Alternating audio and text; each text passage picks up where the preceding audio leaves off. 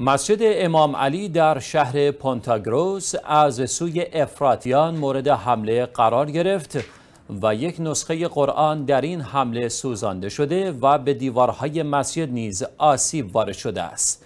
مدیریت مسجد در بیانیه رسمی که در صفحه اینستاگرام منتشر شد اعلام کرد با کمال تأسف به اطلاع برادران و خواهران خود در جامعه مسلمانان میرسانیم که مسجد عزیزمان در ساعات اولیه روز جمعه مورد حمله خرابکاران و بدعتگذاران قرار گرفت.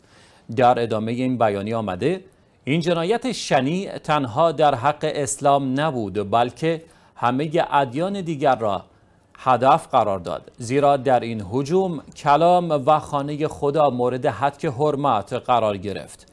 عاملان جنایت با شکستن درب جانبی وارد مسجد شدند.